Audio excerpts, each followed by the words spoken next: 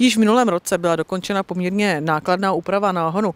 Co nám tady doposud chybělo, byla lávka, na které teďka v tuto chvíli stojíme, ale ona ještě není dokončena, takže jak to s ní bude vypadat? Skončí to ještě tento rok? Budeme už se moci pro ní normálně bezpečně projít? Tak lávka bude dokončena 30. listopadu 2020, víceméně už je základ eh, hotový. Čeká se v podstatě jenom na umístění zábradlí, který je v tuhle chvíli ve výrobě a v zinkování. A pak vlastně po skončení této stavby eh, firmou SAM Silnice a mosty akciová společnost eh, Dojde ještě ze strany technických služeb k obnově chodníků zalávkou ze strany z náměstí.